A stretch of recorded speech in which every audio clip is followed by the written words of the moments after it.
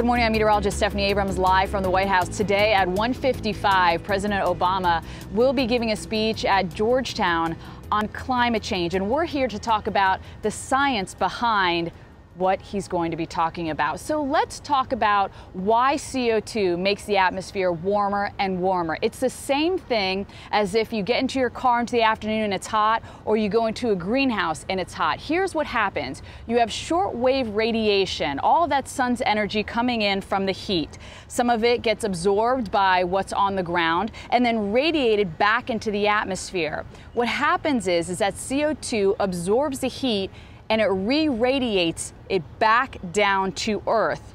Those are long waves. And so the more CO2 you have in the atmosphere, then the hotter the atmosphere is actually going to get. So that's why we are trying to cut down on CO2 emissions so that there's less in the atmosphere and the atmosphere doesn't get as warm.